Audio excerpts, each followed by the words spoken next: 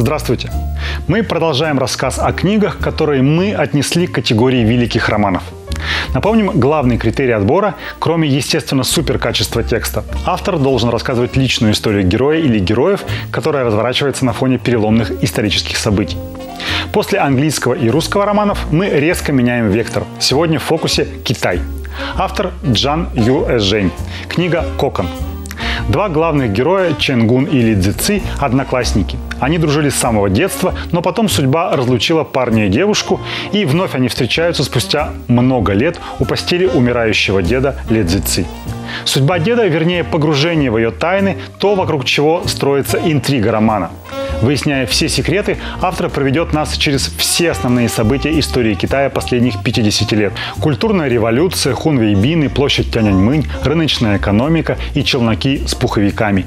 Мы видели эти события с нашей колокольни, а здесь есть возможность посмотреть, как прочли свою историю сами китайцы. Но «Кокон» не появился бы в нашем обзоре, если бы не был еще и романом о судьбах людей, о том, как один поступок или действие тянет за собой снежный ком разрушительных последствий. У Кокона есть что-то от Ромео и Джульетты, много параллелей с семейными сагами первой половины 20 века или с античными трагедиями, да, даже так. Интересно, что оба главных героя не выглядят однозначно правильными. За их судьбами следишь, но вряд ли сопереживаешь. Возможно, такая отстраненность помогает лучше понять поступки людей, читать, не отвлекаясь на ненужные сентименты. В качестве цитаты я выбрал эпизод из романа, возможно, не передающий его сути, зато точно гарантирующий рефлексию российскому читателю. Это реплика о челночном бизнесе 90-х. Пуховики, которые продавали русским, были набиты раскисшими куриными перьями. В ход шли и больные курицы, и чумные. Вот только утиного пуха там не было ни грамма.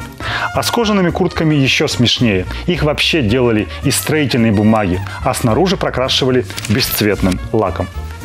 Удивительно, но автору романа всего 38 лет. Юный для писателя возраст не помешал Джан Юэжень создать глубокую книгу, к тому же позволяющую познакомиться с современным Китаем.